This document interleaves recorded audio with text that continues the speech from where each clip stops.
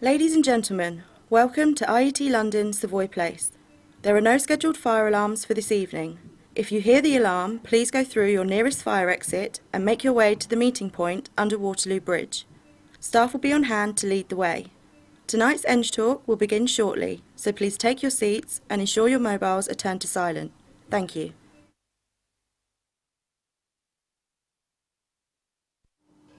The Appleton Lecture was established in 1965 to commemorate the life and work of Sir Edward Appleton, a widely honoured physicist and Nobel Prize winner noted for his research into the upper atmosphere. In 1924, he was able to demonstrate the existence of the electrified reflecting layer in the upper atmosphere. The existence of this layer had been suggested by Kennelly and Heaviside in 1902. Appleton demonstrated the existence of a second layer, now referred to as the Appleton layer. His work into pure and applied physics and his research into the characteristics of the ionosphere received international recognition in 1947, winning the Nobel Prize for Physics. He also received the IEE Faraday Medal in 1952. Last year, our Prestige Lecture Series became the IET Eng Talk Series, and tonight is the first Eng Talk inspired by the life and work of Edward Appleton. Ladies and gentlemen, I'm extremely excited to introduce our host for this evening, Yewande Akinola. Your presenter for tonight is a chartered design engineer working on projects in the UK, Africa, Middle East, and East Asia. Her professional specialities are water, design for manufacture and assembly, project engineering, and innovation management. She has won several awards, including the IET's Young Woman Engineer of the Year and the UK Outstanding Woman in STEM.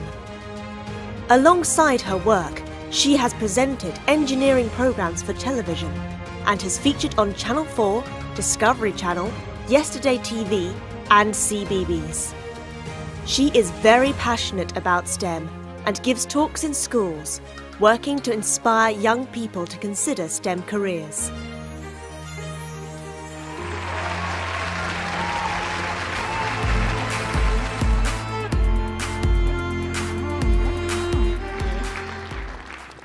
Ladies and gentlemen, it's an absolute pleasure to welcome you to Savoy Place this lovely evening.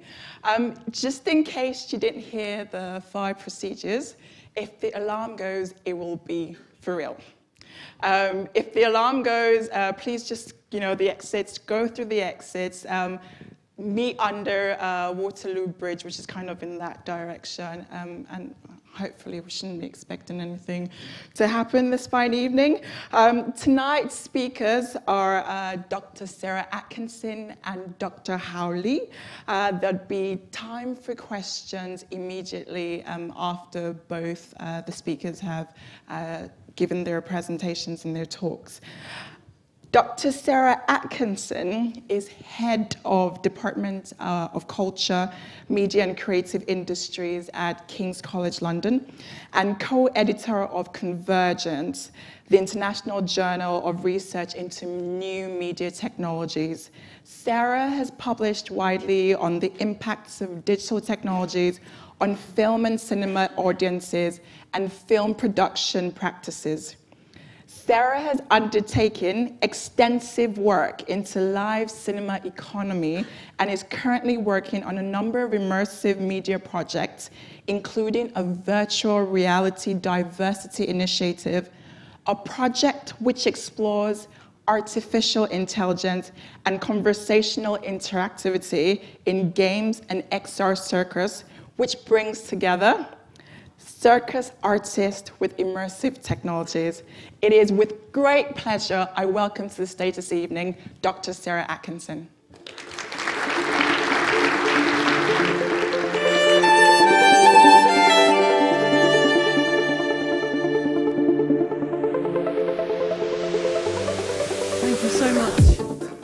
It's an absolute pleasure to be here, an honour, so thank you for inviting me. And I'm here this evening to talk about what fairies and aliens can teach us about deepfakes. So I just wondered if you could just give me a show of hands. Do you all know what deepfakes are in the audience this evening? Maybe just raise your hand if you do.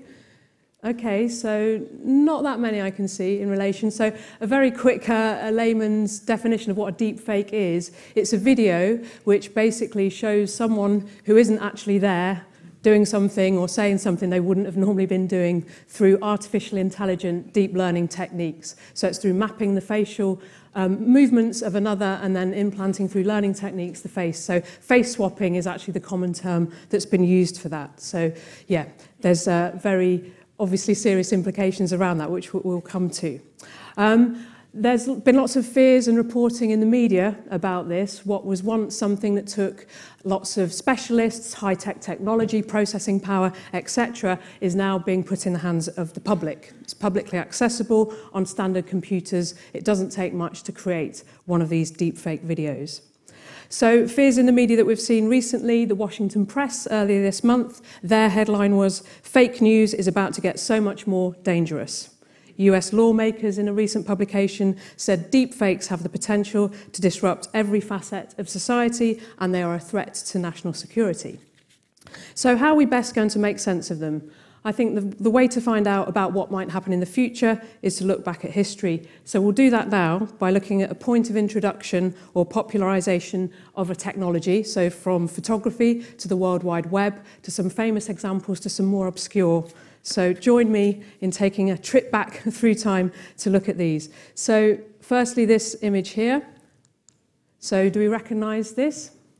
This is a short film made by the Lumiere brothers, The Arrival of a Train at La Ciotat. The Lumiere brothers, as many of you I'm sure will know, were the inventors of the cinematograph.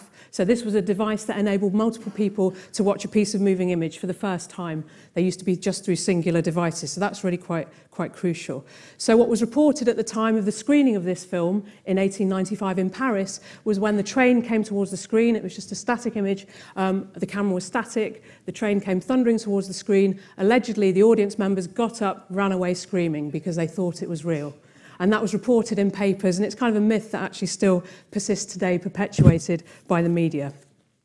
So if we move on to our next example, skip a bit further through time to 1917, this image is of the Cottingley Fairies, which you may have seen. So this was at the advent of consumer technology, consumer photography, sorry. Two young girls, aged 16 and 9, took these photos and they were believed to be real for over six decades. They only admitted to their fakery in the 1980s, and indeed Arthur Conan Doyle wrote in 1920 that this was visible evidence of psychic phenomena.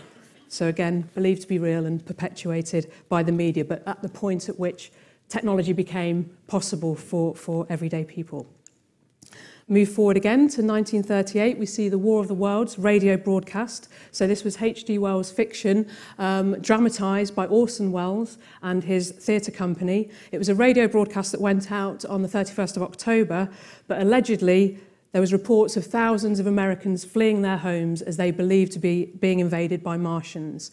So what was happening through this broadcast, they dramatized as it happens news broadcasting. So there was the sound of an orchestra playing through the radio, people tuned in, and then it was interrupted by an emergency broadcast. And people kind of recognized this technique because of the Hindenburg crash, which had happened a year previously in uh, 1937. So again, they believed it to be real, and the media reported on the panic that, that happened as a result. Forward into television now, big jump into 1995. This is a lesser known example. It's Forgotten Silver, a documentary that was on New Zealand public service television made by Peter Jackson in 1995.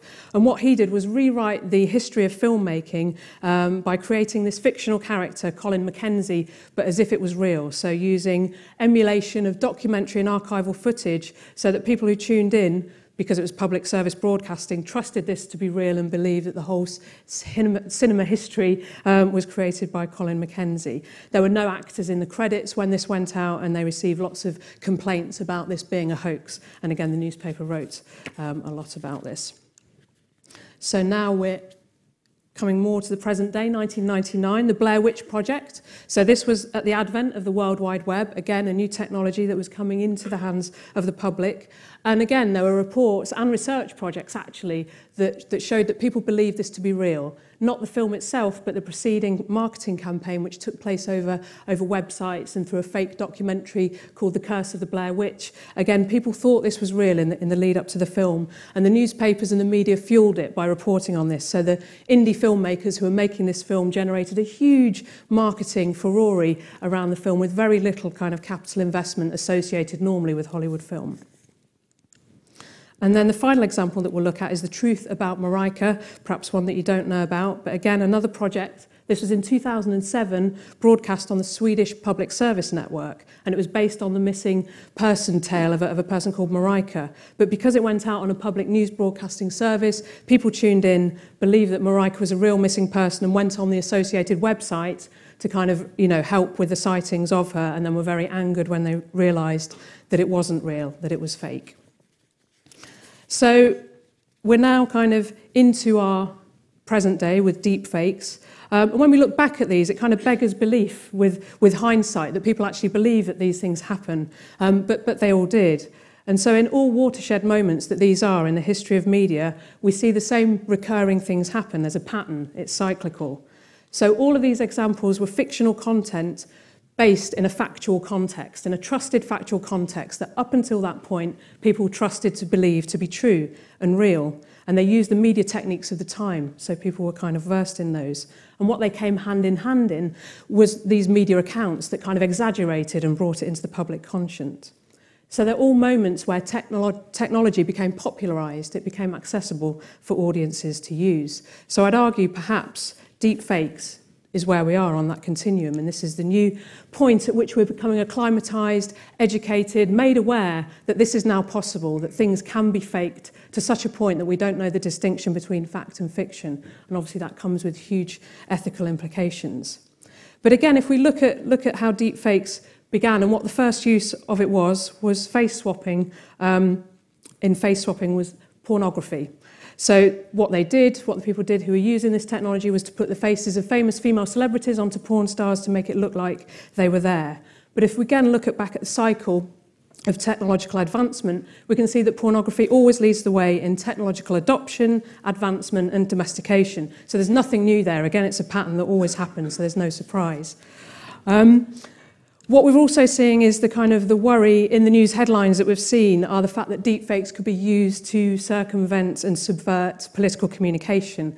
In fact, one of the first videos that was used by researchers in Washington was using the face of Barack Obama and mapping a speech that he'd made years earlier. So there's the worry now that political communication will be faked to the point we don't know what's real and, and what's fake. And obviously it's quite an easy one to do when you look at the technologies that, that Hao shows in his talk in a moment because politicians are just standing in a static position, it's quite easy to kind of map the face and the speech of one onto another. So we look at the scare stories and the headlines, and what we can see with these advancements already is counter technologies being developed. So this one here shows deepfake detection through eye blinking. So they're very, they're not quite there yet in terms of how real they look, and this is one way of telling whether the, the video you're watching is a deepfake through how many times the person blinks their eyes. There's also anti-face swap porn policies on all platforms, so Reddit initiated that. So there's already an awareness building in the media that accompanies these these new scares. So now we're at a point where we're not quite there yet, but what there is is this generation of fear around deception, fraudulent activity, and ill doing. And we don't know where it will go, but what we can see is there are lots of possibilities. And certainly, deep fakes will definitely take their place as a historical marker of this moment where media is entering its artificially intelligent phase. So it could be exciting times as well as daunting, Audience members are no longer a passive inert force, as we know, and as history has always shown us, when you put the technology in the hands of the audience, interesting, innovative, and unexpected things can happen in ways that we've yet to imagine. Thank you.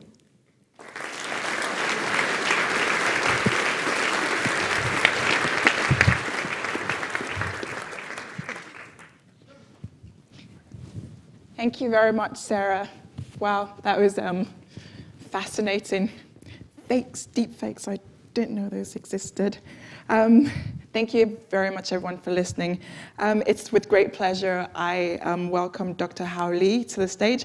Um, Dr. Li is the Director of Vision and Graphics Lab at the Institute for Creative Technologies at the University of uh, Southern California. Hao describes himself as a German born punky of Taiwanese descent doing computer graphics. Um, he's best known for his work on dynamic geometry processing and data-driven techniques for making 3D human uh, digitization and facial animation accessible to the masses. He worked on the famed digital reenactment of Paul Walker, in the movie Fast and Furious 7, and his research has led to the facial animation technology in Apple's iPhone X. Ladies and gentlemen, Dr. Hao Li.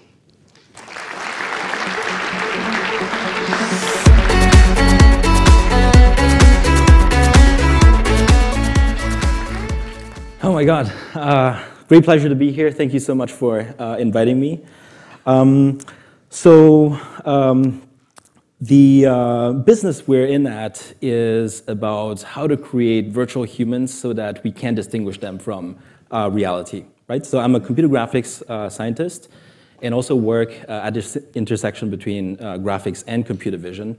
And one of the goals that we have is really about how can we um, create an illusion for an audience, right? How can we um, create something that uh, people would believe in and the first thing that you think about that is, you know, how can we uh, create computer animations? How can we create VFX that look absolutely real, right? And we use computer simulations um, and renderings in order to achieve these type of effects. And one of the new things that comes into play is perhaps we can even enable something like uh, the metaverse, right? Perhaps we can use immersive technologies like virtual reality so that anyone can basically relive any moment in life, can teleport themselves into arbitrary environments, etc. One of the nightmare scenarios is that, you know, I'm pretty sure uh, you're familiar with your cell phones, is that hopefully we're not end up uh, someday in like uh, this kind of um, scene here.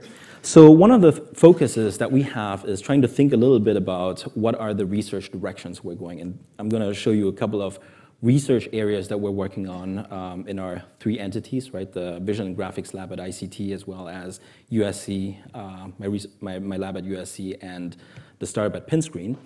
And um, social interaction is uh, one of the key things that we're trying to solve, right? The idea is really um, twofold. We want to create um, a technology that allows us to scale content creation. Content, any interactive 3D content creation nowadays, you need a game studio, you need a VFX company to achieve these goals, which is, you know, involving a team of engineers and, you know, digital artists and months and months of work in order to create all these amazing um, 3D images. Uh, but the, the, the idea here is, can we allow end users or ordinary general audience to create these type of content? The second thing is about communication if we have the tools to create uh, 3D content, can we create a new form of immersive communication where we can actually talk to each other as if we were actually physically present? So it's all about telepresence. And we're not the only people looking into uh, these kind of technologies. Here's an example where um, you know, Oculus is also trying to look into what is the future or the next generation platform of social media when people can actually interact as 3D avatars. But that's not the idea of like how we're going to look into. This is sort of like in progress work. And one thing that we're going to look at later is how we can create a photoreal appearance of ourselves, uh, similar to what we see in science fiction movies. The first thing is whenever you think about you know, using VR to um, have a form of communication, uh, the first problem is you know, half of your face is occluded, right? So you have this huge, uh, bulky um, display on your face. So you're not going to capture uh, what the person is actually doing. So in collaboration with uh, Oculus, we actually developed um, a couple of years ago the uh, first system that allows people to um, be immersed inside VR and also uh, be able to track their own facial performances in real time uh, using various sensors. So here's an example of the first system we built. Um, this is one of my students, Kyle, who is actually using the VR headset. And you can see that his face is being tracked in real time and reproduced inside a VR system. Of course, this is not a very um, appealing system to wear, uh, especially with this mount in front of your face.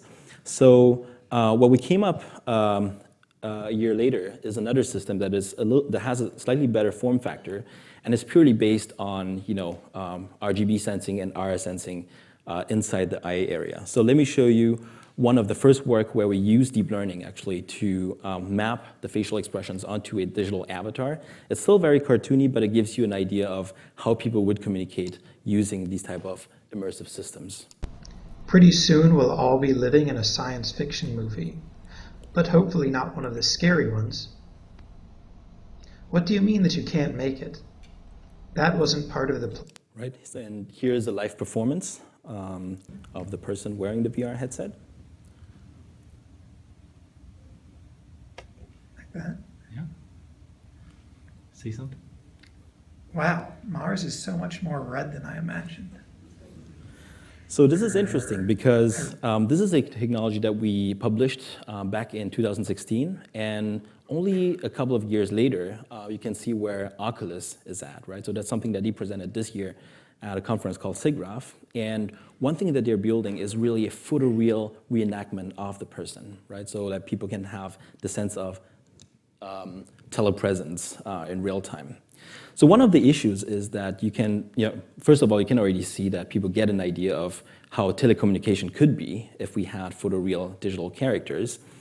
Um, but then the problem is that this is something that is still very difficult to be accessible for end users because for each subject you need um, a ton of cameras. So we they basically use 40 cameras, an array of 40 cameras to record different angles of the person in real time. It's in some ways interpolating uh, to the right angle in order to render uh, the view of the subject, right? So it's not something that you can easily allow consumers to use.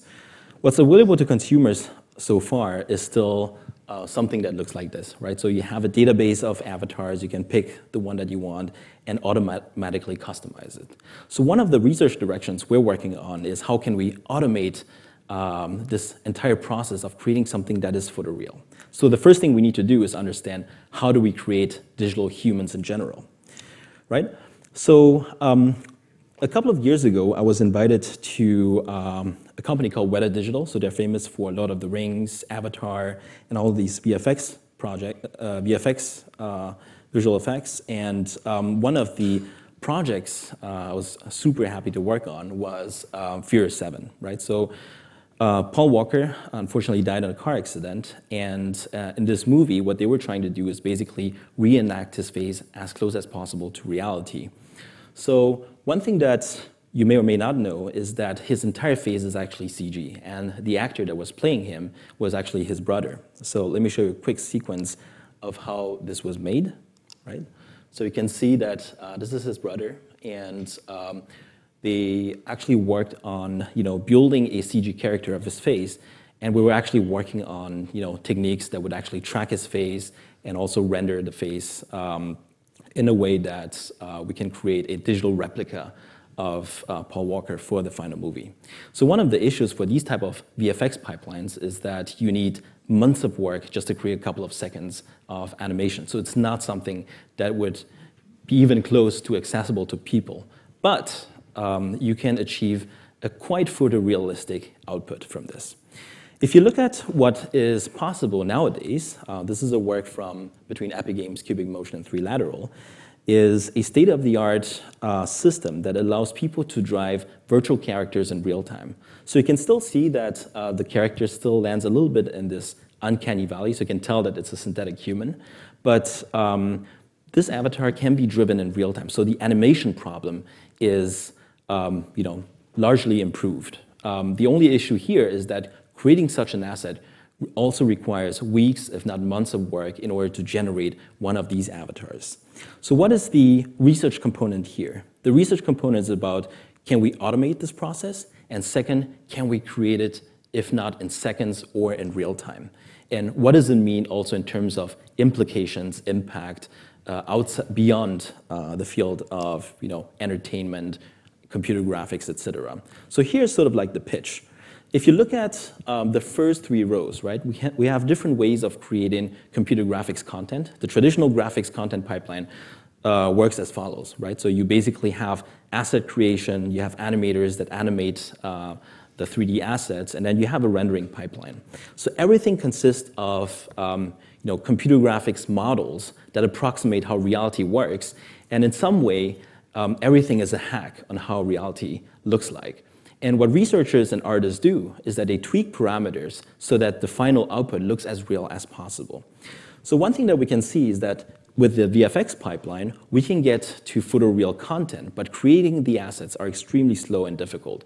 If you look at the game uh, pipeline, you can create real-time content, such as those in uh, video games, but then the issue is that you still lack a little bit of this photorealism, which is extremely difficult to achieve uh, when you want to recreate digital humans. Now, the pitch here is that if you use a technique um, such as deep learning, right? So one of the fields in artificial intelligence where all the uh, processing is driven solely by massive amounts of data, you can in some ways shortcut the problem of um, you know, generating digital content in a way that it always looks real. So you can ensure that it looks real, but then one of the other challenges is how do we have control over this type of data? So the first thing when you hear about deep learning, um, it's mostly for computer vision problems. How can I detect an object and you have this deep neural network that would basically as input, take an input image and then parse and then say, this is a dog that I'm looking at. Now, if you can invert that um, deep neural network, you can actually use it to generate content. And this is, in some ways, the purpose of computer graphics. So let me show you a couple of examples on the research areas that we're working on, where we can actually use deep neural networks to change how uh, computer graphics um, uh, is capable of, right? So let's look at photoreal faces, right? Faces are one of the hardest things to create a digital model of because we're super sensitive to if something looks real or is synthetic, right? If there's something off, we can tell that it's a you know fake CG face. So the traditional approach here is to use very sophisticated capture uh, techniques, such as um, the light stage capture device developed by Dr. Paul Debevec at USC ICT. And we're using these measurement devices to measure high fidelity geometries, complex reflectance properties. But once you have collected this data, one of the potential things you can do is actually develop techniques that can actually automate or infer, predict uh, this type of content without requiring this massive amount of capture device. So here's an old work uh, from 20 years ago um, from um, and Vetter. And what they did here was, given a single input image, can we generate a compelling face model? So they could actually generate pretty um, you know, compelling face models, but they could never look real and they could never be used for applications such as VFX because the fidelity was just not high enough. And then the second thing is you can never generate assets that are relatable in new environments in a very um, compelling way. So the question is how do we, how can we reach photorealism if we only have a single input image? This is basically one of the data that is necessary for consumers to be accessible. So here's one way, right? So there is a seminal work uh, from uh, a gentleman called Ian Goodfellow uh, on generative adversarial networks. It's a very special type of deep generative model that allows you to generate photoreal content um, you know, given random numbers, given a feature vector, or given a low resolution input image. And um, one of the things that NVIDIA has done using generative adversarial networks is they have um, created photorealist, like high resolution photoreal faces that are purely synthetically generated. So the example I'm showing here is really interesting because these faces actually don't exist. It was purely generated by, in some ways, by an artificial intelligence, right? And one of the issues you can see here is that when you look at very carefully, you can still see some weird artifacts uh, in the faces, and these become very apparent when you try to interpolate between the space of human faces, right? So this is when you try to morph between uh, different faces that are completely generated. and you can see some you know, weird artifacts uh, around faces. So the problem with deep neural networks is that they can generate photoreal content, but then one of the issues is how do you really control them? And control is one of the key things that are important in the field of computer graphics because we want to generate content. So one thing that we developed uh, back then, uh, that was just like um, um, a year ago, is um, a technique that would, instead of just purely synthesizing photoreal faces, it would actually transfer photoreal details from an existing database onto a, uh, onto a face. And this work has been inspired by one of the seminal works from Leon Gatys, uh, who now works at Apple. And uh, I'm pretty sure some of you have actually seen this work. The idea is basically you have, you take a photograph and you can actually create a, a um, stylized painting, right, in the style of Van Gogh, for example, and you would basically transfer the style onto this input picture. Now, what we thought about was, why don't we just use the same technique and transfer photoreal faces onto another picture of a photoreal face so that we can generate photoreal facial content. And the challenge here was you could, but then how do you preserve the likeness of the person? Because, again, one of the issues here is how do you achieve control?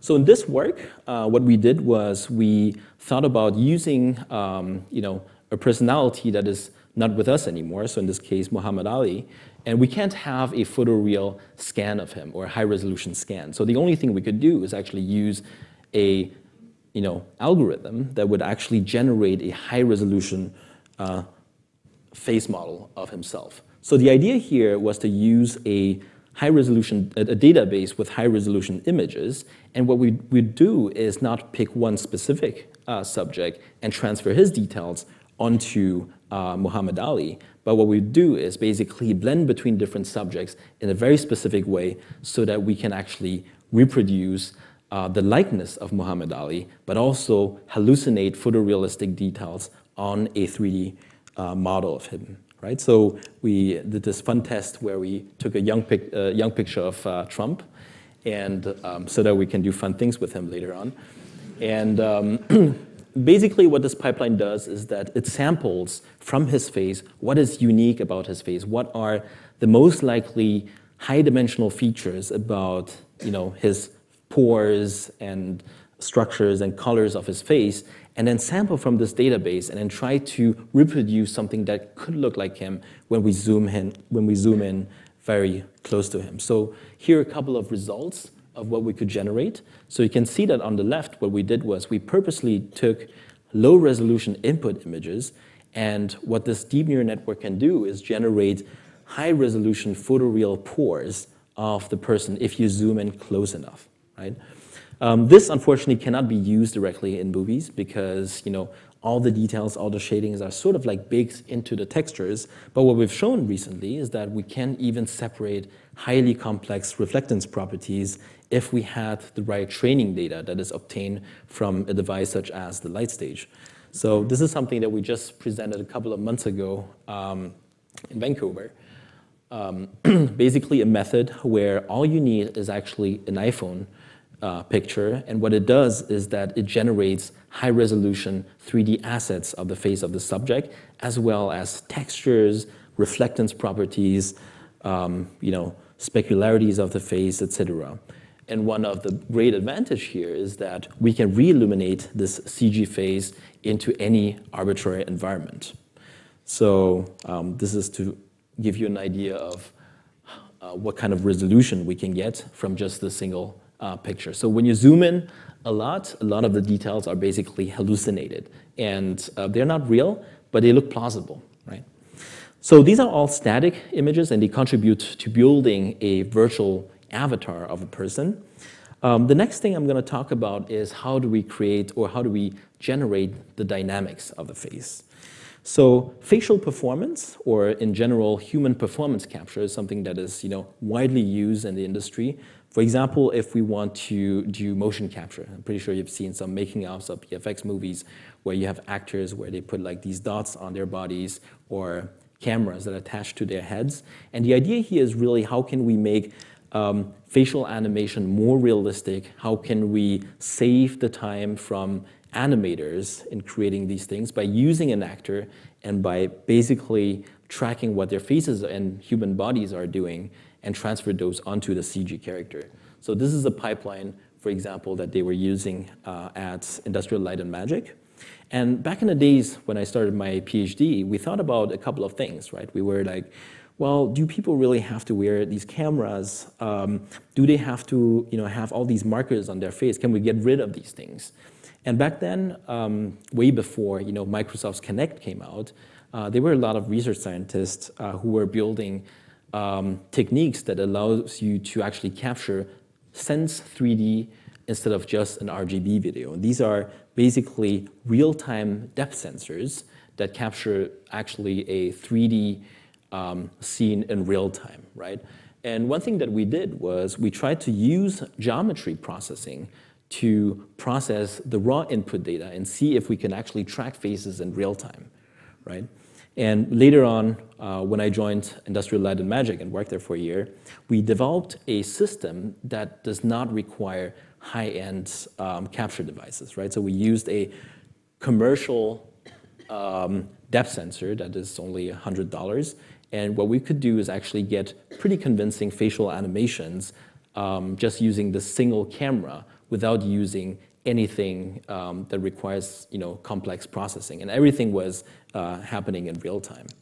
So here's a sequence, right? So this is my uh, friend Mike Jutan uh, from ILM. So we were tracking his face. You can see the raw data on the left of it. And in the middle, that was his track face. And we can basically retarget you know, arbitrary characters uh, from that. So that was sort of like the vision of how we could make you know, virtual production scalable and more low cost. And directors can have a you know, um, a preview of how um, their characters will look like uh, in the end.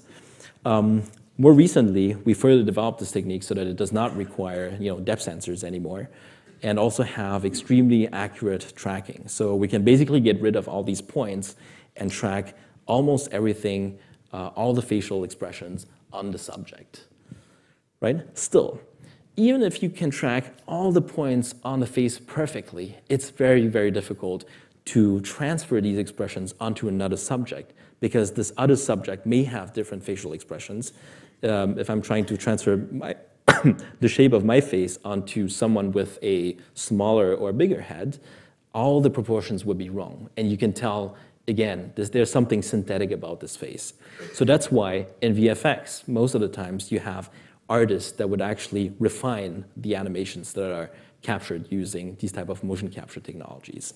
So one of the techniques uh, that we have developed uh, very recently and also um, demonstrated uh, for the first time at SIGGRAPH uh, this summer is a deep uh, learning-based approach that basically synthesizes, uh, based on the tracking of a person's face, it synthesizes the image directly. So it's synthesizing the texture and also the facial expressions at very high resolution. So let me show you an example of how this works.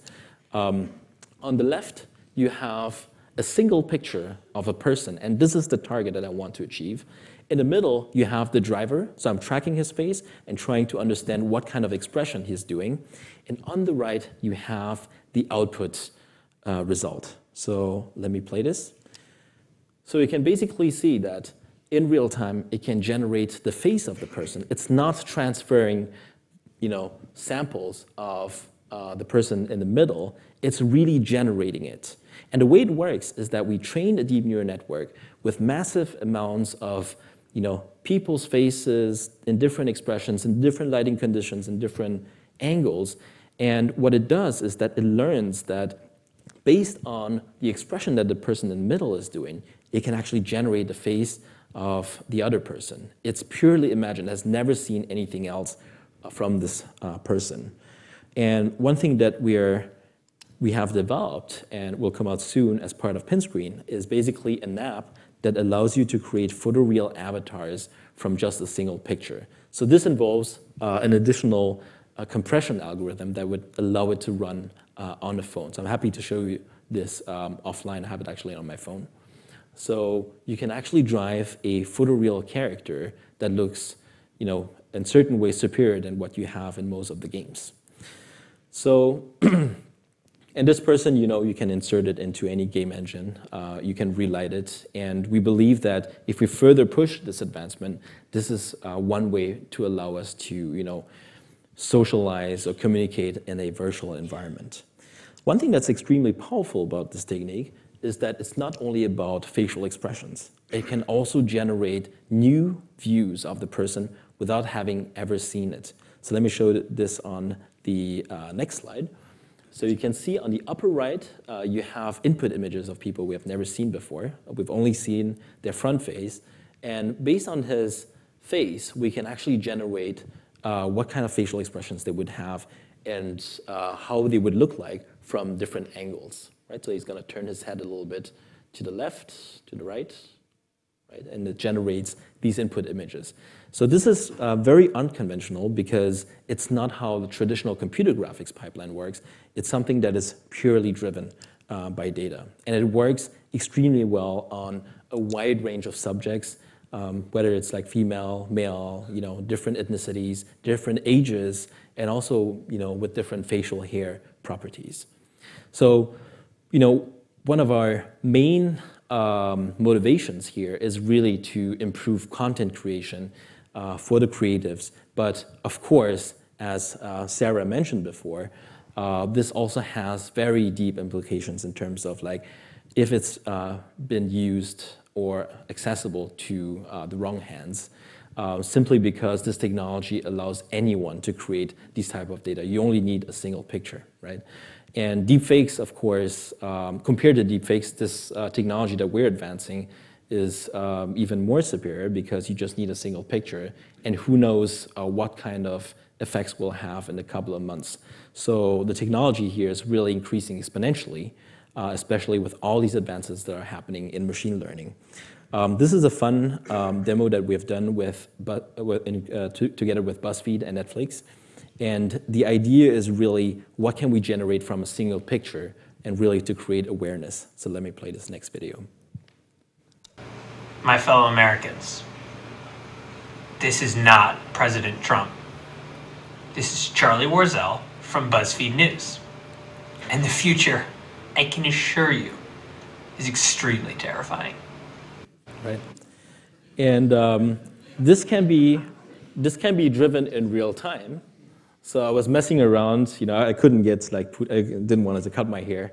So um, I just messed it a little bit around, and I put Putin's face on my face. And it was really just a random picture that you know we downloaded from the internet, um, and we just put it uh, on my face, right? So you can show I'm actually filming it, uh, and it's all happening in real time.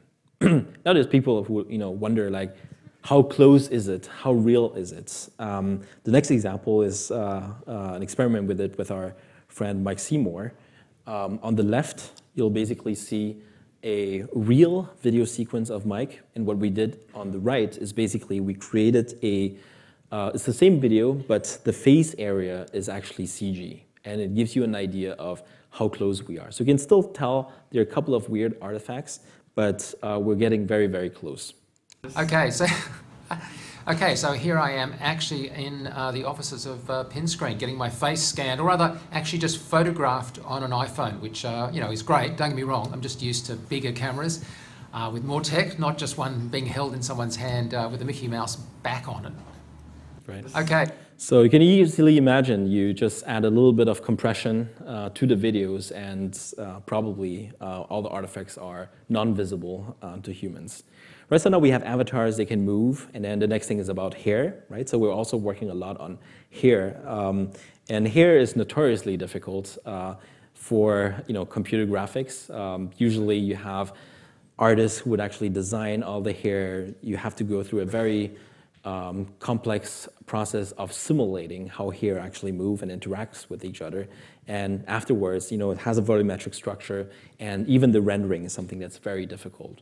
So we're looking at, um, you know, how do we develop new data-driven algorithms that could actually allow people to create full hair automatically, because in the end, we're interested in creating virtual humans. Right, so this is a work that we've done a couple of years ago um, that is based, it's a data-driven algorithm, not using um, you know, deep learning. Um, basically, you have a large database of hair, but given an input image, it would basically select the closest hair model and then deform it to fit the input image, and you can get quite convincing results, right? And if you add the right priors, you can also get, um, you know, handle very, very complex uh, hair types such as braids. Uh, but one of the issues here is robustness, right? It's not something that always works. Um, you can easily find a situation where you have a strong specular light on the hair and the al entire algorithm would break. So one thing that we're looking uh, into recently is a purely deep learning based approach that actually allows you to give an input image and generate the 3D model uh, directly, right? So this is a so-called variational autoencoder, and we converted this thing to make it work that it can process 3D hair models. So here are a couple of examples, right? So you can see that it can generate, you know, it's not um, production ready yet, but it's something that shows the potential of it. You have an input image, and it can generate highly complex hair models. It can handle extremely complex ones, right? So you have this punk hair hairstyle, and it knows um, that this is the type of hair model that it should generate. It does not involve a database anymore. It really is just an input image, and then from this input image, it infers the high dimensional feature vector, and from the feature vector, it can generate the 3D content. What's amazing is you can input a Bitmoji input image, and it knows that this is the most plausible hair model that belongs to it. Or it doesn't even have to be human. You can even put this uh, dog in here, and uh, it knows that these hair are the structures we're looking at. Uh, one thing that's very, very um, interesting from a, a, research standpoint is that you know a lot of people ask, well, in your previous algorithm you use like so many hundreds, you know, hair models. It's very tedious to build this database. How many hair models do we have now? Well, in some ways we have infinite numbers because between arbitrary hairstyles we can actually interpolate them, you know, seamlessly. So we basically learn a continuous space that represents what hair is, right? Um, I mean, here's an interesting example um, for virtual avatars, but that's probably the only use case. Um, I think it can be used for any kind of uh, objects like clothing, etc. Right? Another thing that we've been looking at is hair rendering, right? So when you have the 3D model, how do you put it on the screen? Normally, it's a very tedious process where you need to you know, light from the right direction, you need to set up the material properties, etc. And again, we're using deep neural networks to replace this entire process. And um, this is a unsupervised technique. Uh, we basically have a machine with three high-end GPUs uh, put together. And what it does is that it takes a 3D hair model, renders it using a traditional approach, and then goes through intermediate representation so that in the end, it generates a photorealistic um, hair, right? So these are um, some early results, right? So something we just published at uh, ECCV uh, a week ago. So you can see that this is a hair model um, that is either digitized or created by an artist. And what we want to do is we want to know what kind of color it has. So instead of, um, instead of uh, going through a computer simulated model of how light interacts with material, because this is too complex, we just train it with massive amounts of data and say, well, it should look like a picture, right? And um, what he does here is, this is already generating in real time how the hair would look like. And let's say we wanted to have a slightly different appearance of it. We want to have a blonde color.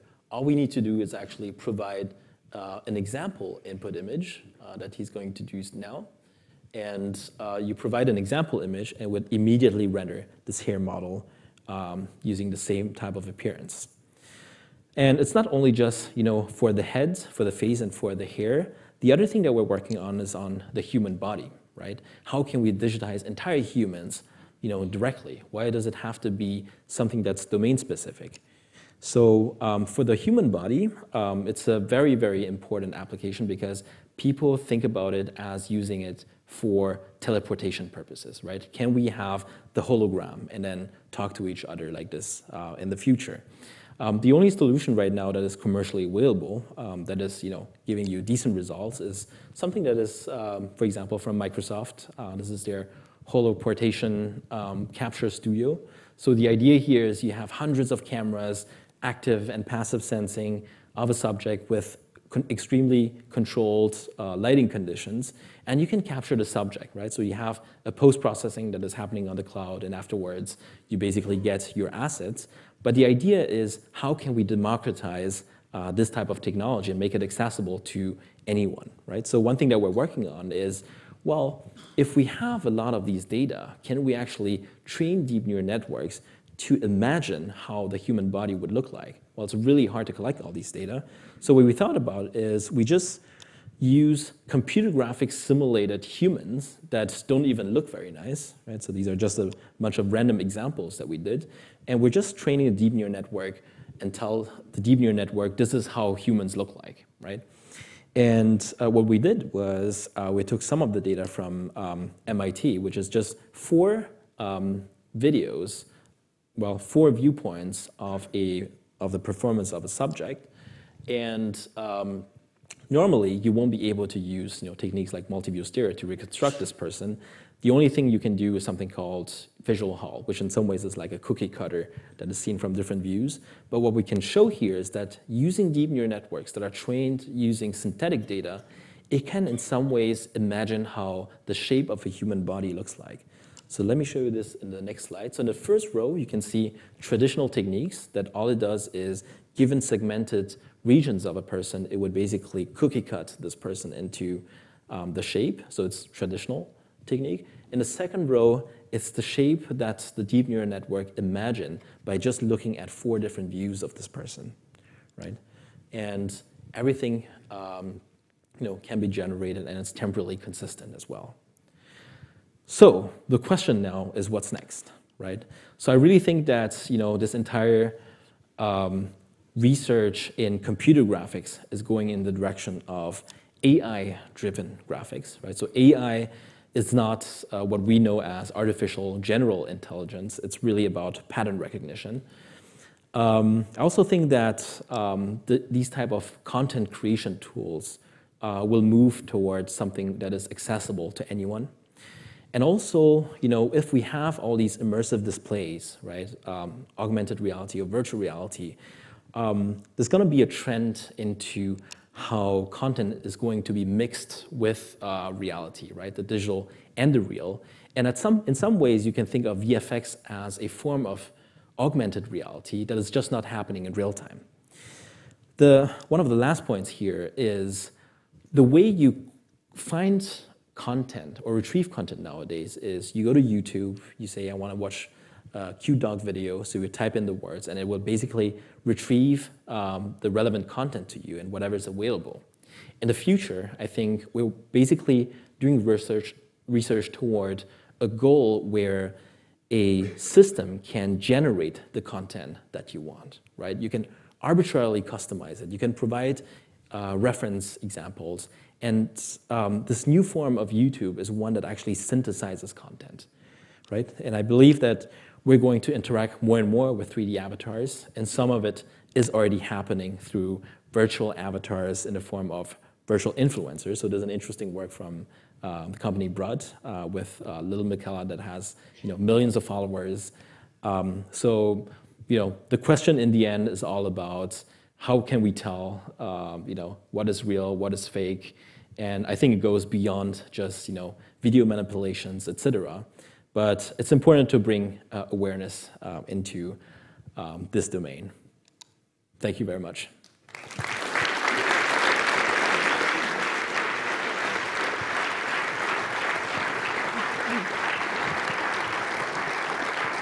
No, wow.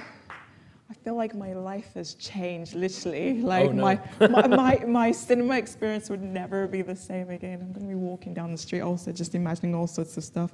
Um, we will now be taking questions from the audience. I'd love to welcome Sarah back to the stage. Um, we're also accepting questions via Twitter. So the hashtag is hashtag IETEngTalks. Um, so get tweeting if you're on Twitter.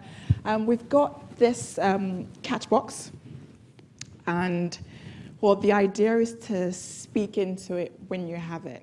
Yeah, so there's a cross on the top here, and if you bring it as close to your mouth as possible um, and speak into it, and we've got Sabira here to help. So if you've got a question, Um, you might have to stand up to catch or grab this, but yeah, just put your hand up and a spear would be throwing it to you. Thank you.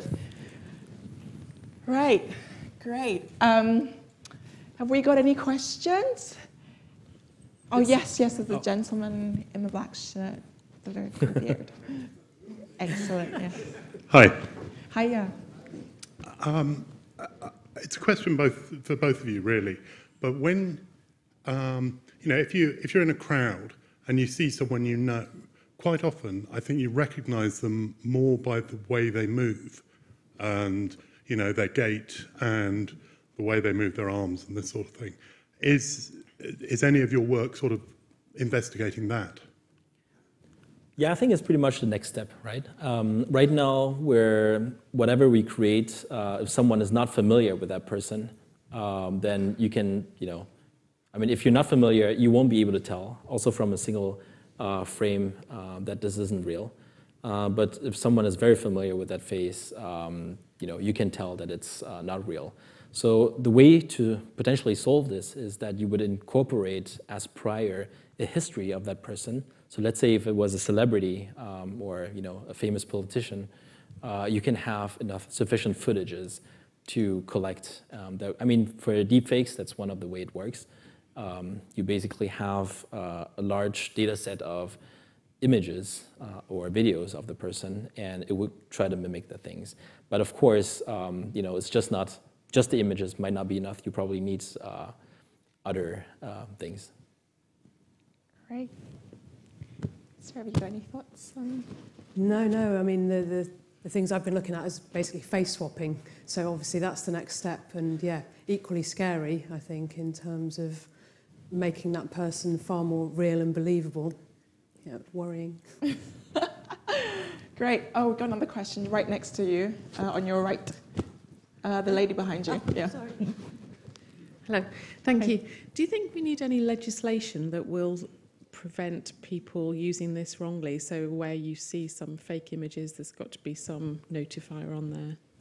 Yeah, for sure. Um, actually, um, we did a work. Uh, we we co-organized a workshop um, with uh, a couple of. I mean, my colleagues actually uh, uh, co-organized a workshop at SIGGRAPH this year. So SIGGRAPH is the main event in the field of computer graphics.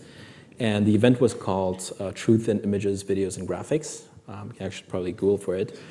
And we had a long debate uh, and a panel about, it was a super interesting session where we discussed about, you know, everything was online and we, we, we discussed about um, how do we handle uh, these kind of issues. And uh, we had a long, you know, email thread uh, that followed up, uh, that, that, followed from this um, workshop, and in some ways, uh, we're basically discussing, you know, at this point, and we have a lot of ideas about how do we um, create new guidelines and uh, rules and laws uh, based on like, you know, for both academics and industry, and how um, we should go about uh, these kind of, um, the possibilities of these kind of technologies. So the first thing is, um, yes, we're creating awareness that this is possible. The second thing is really, there has to be a couple of guidelines about what can you do and what you're not, um, what you should be discouraged to use this for, right? So you don't want to use this for porn, you don't want to use this to, you know, um, you know, create, uh, you know, start civil wars or, or any war, uh, which is which is all possible, right? I mean, um, we don't actually need technology to um, create fake news and to um, you know spread uh, fake news, and you know th there are many examples where people actually died from it, um, and uh, but you know the, the fact that people actually believe in videos um, you know, basically shows that people have to know that there's something wrong with it.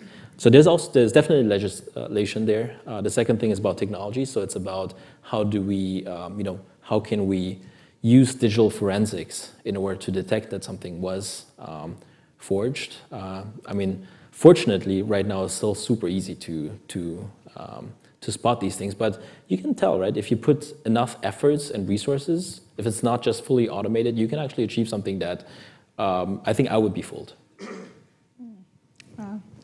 Um, Yeah, um, something yeah. come Go back across, to yeah. the, the the point about legislation. As we know, with new technology is, is moving at such a rapid rate, and legislation takes a long time to to catch up. So we only recently see laws around social media and fake accounts with that. So at the moment, those who've already been victims of deep fakes, those who featured in pornographic videos, there is no framework as yet to um, you know attack that to, to address it. So yeah, I think that's going to take some some time to catch up, but clearly it does need to be very specific because this is a new phenomena unlike any of those that we've seen before. And one thing that I think is important uh, to this is that people have to work together, right? Mhm. So you have to work with politicians uh, in order to, you know, really understand what is actually happening. Um, Yeah. Right, we've got, where's our catch box? There it is. All right, okay, we've got someone here, right in front here. Hello. Right. Hi there. Um, so I know a little about neural networks, but I'm quite fuzzy on it. So if I'm terribly wrong about this, do forgive me.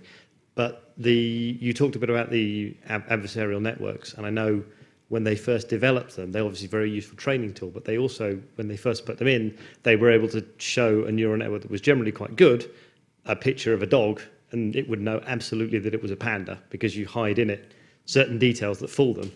Do you think, as time goes on, we're going to see people trying to fight back against this kind of thing by imprinting in their photos and videos stuff that makes it harder for them to process and impersonate? Yeah, that's um, um, that's a good point, right? I mean, um, one of the um, well, it's like an arms race, right? So you have one thing that improves and the other thing that will also get better.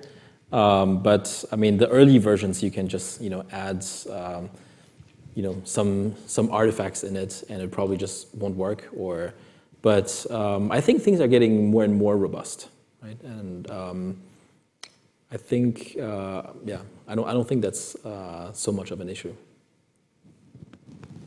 All right, okay.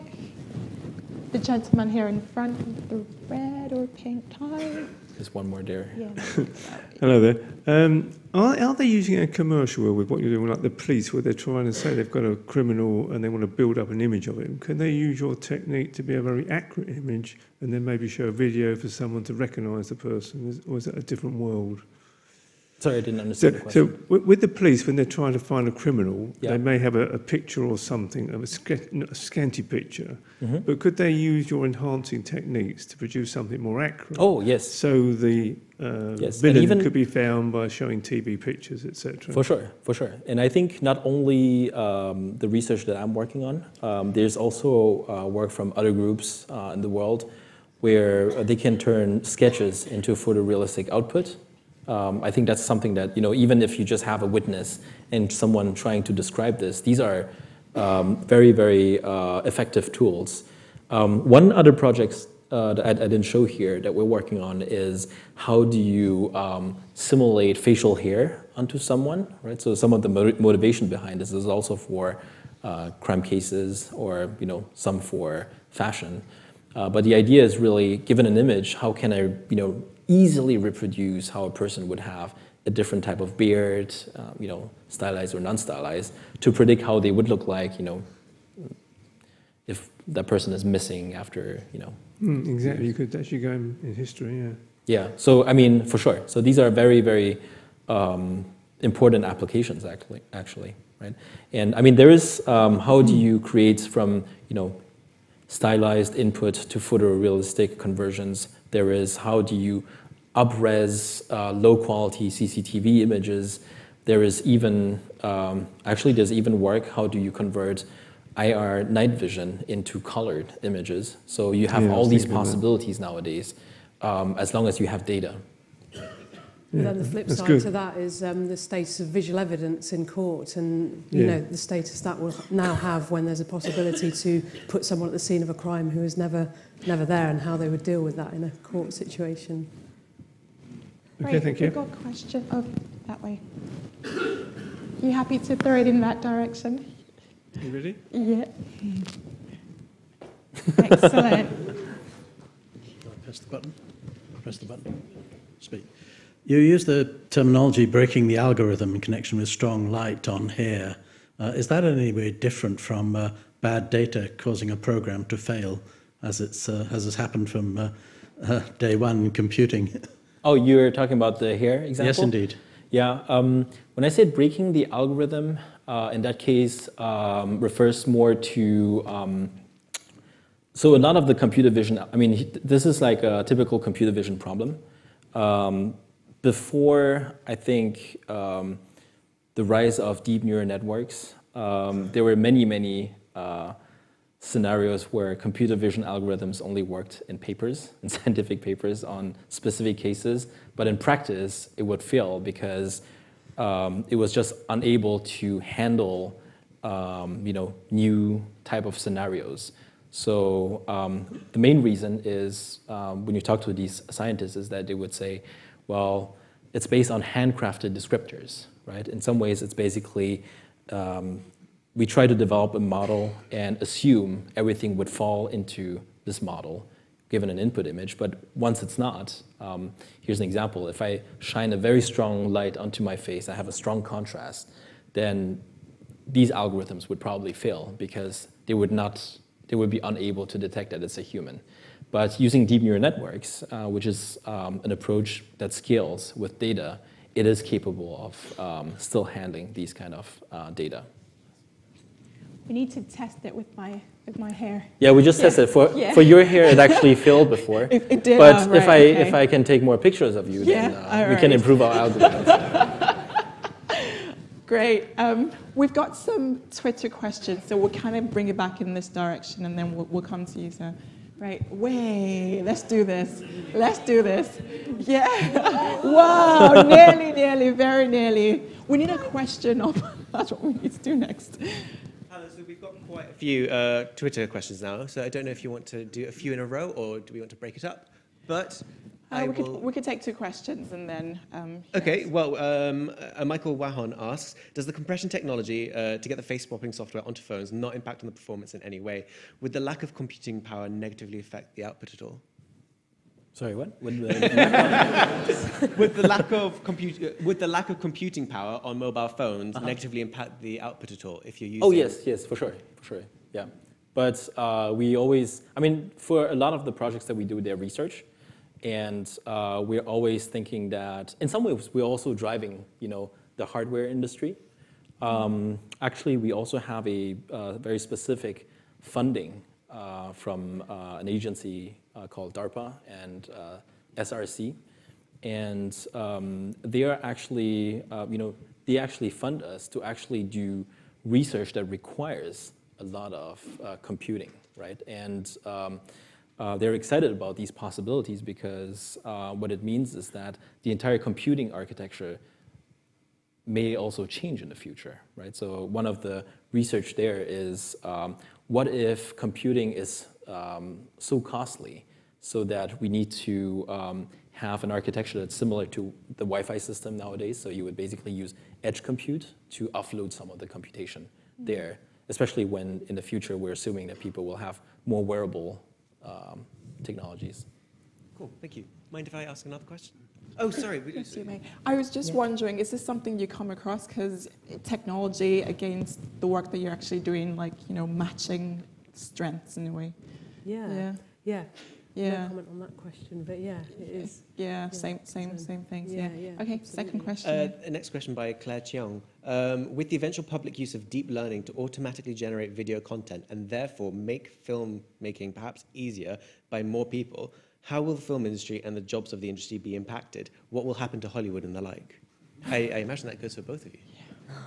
it's- Maybe you have a better answer. yeah. Um, well, I could go back to that, that example, you know, the Blair Witch Project, and, and there's those similar kind of um, questions raised then um, around film being given into the hands of independent filmmakers having the opportunity because of the cheapness of technology coming down. So that at that time it was digital camcorders becoming available and the World Wide Web as a tool for marketing. And there's been very recent examples with iPhone films like Tangerine, for example. So I think it's um, actually quite exciting that it enables um, filmmakers who wouldn't normally have the opportunity to work within the Hollywood industry a more you know diverse range. Um, so I see that as a quite a promising potential, but I don't see it as perhaps, yeah, there's, there's a space for everything, I guess, in the filmmaking space, and no other technology yet has sort of derailed Hollywood on its on its forward march. So I think what it does is diversify potential for yeah different types of films, different stories to be told. Right. Yeah. Yeah, there was the. Oh, were you going to say something? Um, sure. No.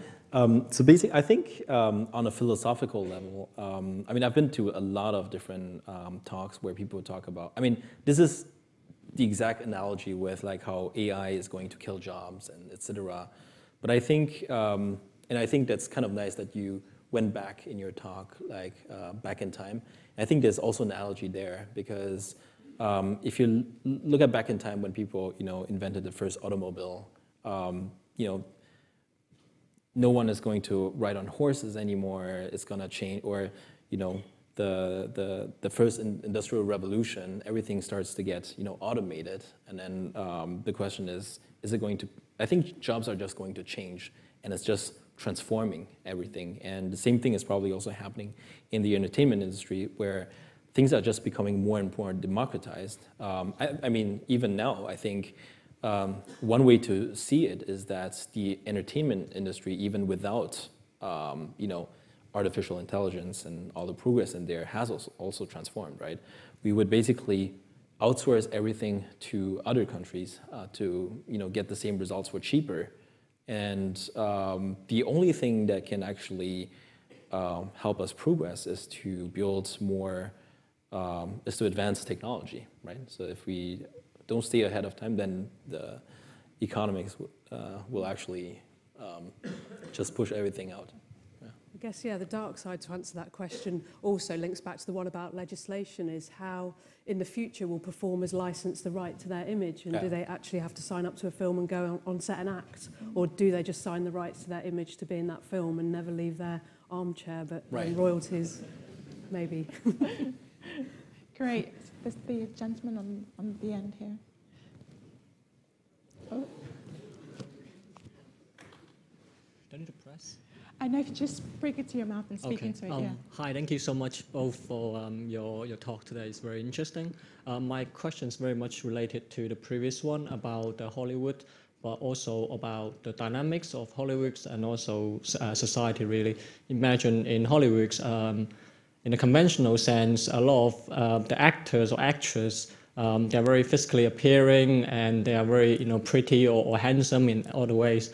Um, but imagine with your technology going forward, potentially someone with an ordinary look or ordinary um, um, build, they could be very good at acting and they could be pretend to be, or they can act to be anyone uh, in all these films. And in a society world where uh, in the future, poten- potentially, um, people are not really physically be in conferences or meetings. You, you have physical appearance, so you don't really need to sort of go to gym to build up your actual physical strength. but using the technology that you got, you could sort of uh, not fake the parents, but you know pretend to be someone that you always dream to be. Um, how do you see the dynamic of that? Thank you. Um, it's already happening. so you go to Instagram, I think every picture is filtered. If you, uh, there's a very big uh, Chinese app called Meitu. Um, I mean, it makes everyone with uh, bigger eyes, every picture is perfectly taken. Um, I think it's just going to extrapolate that and make it uh, uh, crazier. But I think there's also another um, side of thing, which is um, so this is something that uh, I had from a conversation with uh, our um, uh, business advisor at Pinscreen, where he had an interesting conversation with um, someone from the fashion industry, and they're saying that in some ways, um, you know, a couple, until a couple of years ago, people were always looking at, you know, you know, fashion models and say, this is like how I want to look like. But there's a trend nowadays in terms of also, you know, being democratized where you would follow, follow, um, you know, Instagram uh, influencers, personalities that are more ordinary in terms of uh, their appearance, uh, because it's some, in some ways it allows people to help connect uh, with each other. And one of the things that we're exploring, for example, is that what if it's actually you? And you can determine, you can customize the way you look like. Um, you know, if I, you know, eat a little bit more, I put on some weights, and then uh, yeah, I want to look like, you know. Like an So, yeah. Instagram influencer. Right, right, journey, right. yeah. Right, yeah, yeah. Yeah. yeah. Great. Have we got more questions? We've got time for There's a lady in, oh, where are we now? So, okay, we'll go that way and then come back to you.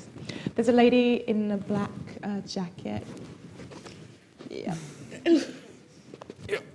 Way! Oh, fantastic. Hi, my question is more for the built environment sector because I work for engineering practice and architecture practice, and now we're changing fundamentally the way we present. Um, now we're building up models which is more in the VR or augmented reality or application specifically to buildings, developing algorithm shaping the building and master planning. So what do you think it will be evolving in the future? Because now AI is coming into the game there is also the um, quantum computing, and there is a lot of competition already out there to change the industry. Hmm? Are you talking specifically for architecture and urban yeah. uh, design? well, I think the, I mean, I don't know, but I think um, the uh, way to think about this is what would make your job easier so that you can actually focus on what the machine cannot do. Um, so when I think about VFX, for example, right, uh, the effect, VFX industry, uh, the way it works is that you have a storyteller in the beginning, and then the storyteller would actually, you know, interact with a visual effects uh, supervisor, and he basically has a team of concept artists and a whole pipeline to generate the content, right? And um, if in an ideal world, uh, you would actually talk to an oracle and that oracle would just you would just tell them hey this is what i want. Or actually i don't know what i want but i want to have something that can do this and this and this and it would basically suggest things to you so all you have to do all your experience considers of you know it's like a shopping experience. It's like hey i want this.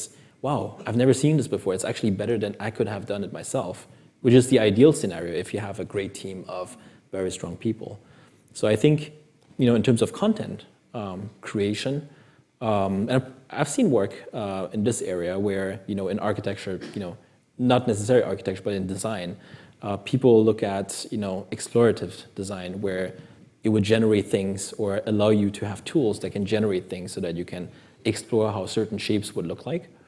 Uh, but in the end, um, it would, I guess it would probably more um, converge towards something that is more creative rather than trying to solve something that could be optimized using uh, a computational solution. Um, in terms of AR and VR, well, I mean, AR and VR to me is a tool for simulation um, and collaboration. Simulation basically means that it's trying to give you an idea how something actually looks like. And collaboration, you know, it's basically the same as in automotive industry, where people make heavy use of, you know, VR and AR to actually present their designs and you know, engineering challenges so that they can actually talk more effectively because everything is 3D. Okay. It's very correct, yeah. Um, and that excites me, being in the built environment space, actually. It really does, yeah. Yeah, yeah does. Um, more questions this way? Yes, please. Oh, there's one right in front of you, and then we'll come this way. It's coming to Hi, I'm just as it's already gone to built environment, I can see how you could maybe use this for safety in mostly automotive. There's been two recent um, incidents on the news about people being dragged along by trains, and we rely on cameras, and the cameras sometimes can sort of be used to figure out people are people and then do things in. Uh, I think it's already used in airports. Um, in automotive, one of the key things is you want to slam the brakes on before you hit someone. Mm-hmm. But what if it's just a bag floating in the wind? Right. And then if you slam on the brakes and you've got old people in the car, you can kill them from the force without even having a crash. Um, do you think this technology, with its larger database, could be used? And key to this, how fast can it help you detect someone? So if you've got less than a second, can you improve that detection? Yeah. Um, yeah, that's a good point, right? Um, I think uh, if anything is sensed and computerized, I can probably it has the potential to make decision faster than humans. Um, I mean, just in like you know high frequency trading. I mean, everything is much faster than what humans could do. Um, and um, any, um, you know, uh, the potential of deep neural networks for computer vision problems, um, it's, uh, it's uh, very likely to solve many of them, right? So one, but one thing that has to be, uh, people have to be very careful about, and I think that's something that um, people who, you know, work with startups or even like research labs have to be very careful is that they do have the potential to be superior than humans in certain tasks, but things have to be tested properly, right? So uh, one example is, for example, in they're super big right now for healthcare, right? So for detecting tumors, they're better than, like statistically, they're better than humans. But then you can always have an edge case where for some reason they just detected the wrong thing. And I think that's something that uh, we need to look into and probably build in some fail-safe safe mechanism uh, in case uh, they still go wrong, right? made me think about the, the ethical debates in driverless cars that are going on at the moment where a car is in a no-win situation and it has to decide which vehicle it's going to crash into or who it might hit or maim or kill um, and those sort of how you then program AI in an ethical manner to to make those decisions and thinking about facial detection, it goes another step further, doesn't it? Actually recognizing who's driving the different cars or who's on the pavement, are they a criminal or some upstanding member of society? So again, I always go to the darker side, but yeah, makes makes the mind boggle really what, what could happen. Yeah. Great. Um, can we have in this? Oh, there's one person there. Okay.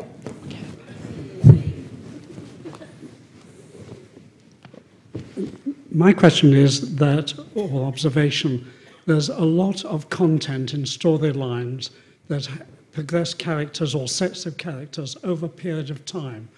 Now, you can either simulate that with uh, multiple actors or very heavy makeup, and you've also got to create perhaps the backdrop of, say, going from the 50s up to almost present times. Is there the prospect of simulating aging in a realistic way and also filling in the backdrops? So um, simulating aging, um, and then what? So, so you, well, let's suppose that uh, um, one followed a character from the age of about 20 yeah. when they were you know, highly active, and you follow them through to the time of their middle age and older age. Mm-hmm. But there was also various other characters or found actors around them because there's many many novels that have that scenario and uh, that might open up a lot more content for film and video right right yeah these things are uh, technically possible right um, and i mean you have the conventional way and also the um, um, you know high-end way of you know simulated simulating aging or de-aging i think the conventional way it's best seen in the movie the curious case of benjamin button uh, we have, uh, it's actually one of the best uh, CG faces. Mm. Um, but also in that movie, um, they employed a lot of um, tricks to make it uh, easier, right? So it's like darker scenes. But it, I mean, they did an amazing job actually in, um, you know, creating a, you know, simulated older and younger version of Brad Pitt. And if I remember correctly, uh, they were saying that de-aging is actually much harder uh, because, um, I mean, first of all, we've seen how Brad Pitt looks like when he was young and not when he gets old.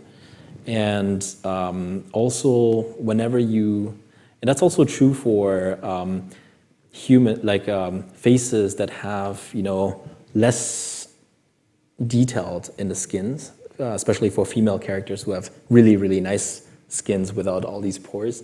Um, it's usually harder to get everything right. Great. So we've got time for one question. So we're going to have to do some hopping. Oh, oh, oh no. I am so sorry. yes. Hi.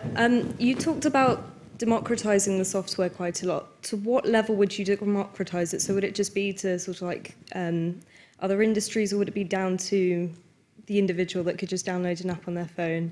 And in what ways would it be? Would it just be a cost thing or also, you know, having the skills and expertise as how to use the software effectively?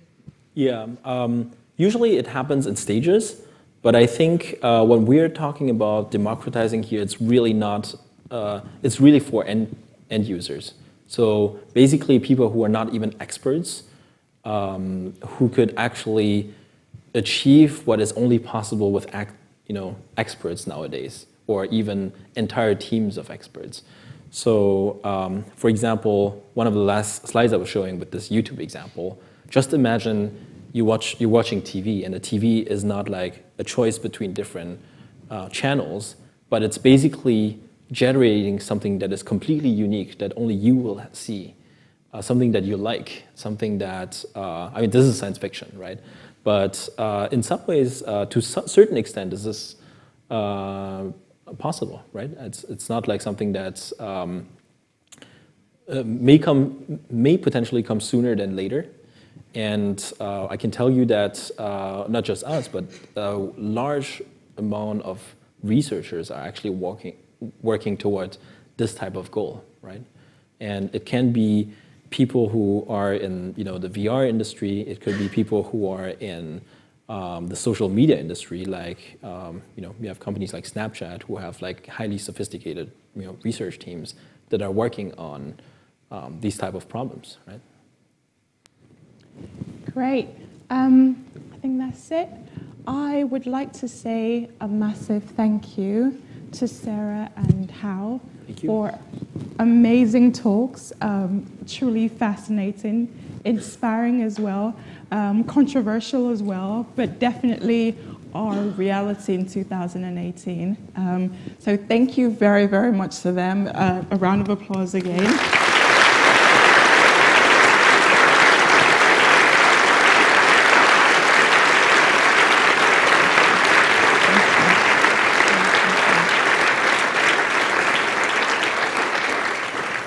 And I'd also like to say a big thank you to all of you, uh, uh, their audience tonight. Um, it's been great to have you here. Um, it's always a pleasure to, to, to, to see you here. Um, please join us for drinks in the uh, reception registration rooms.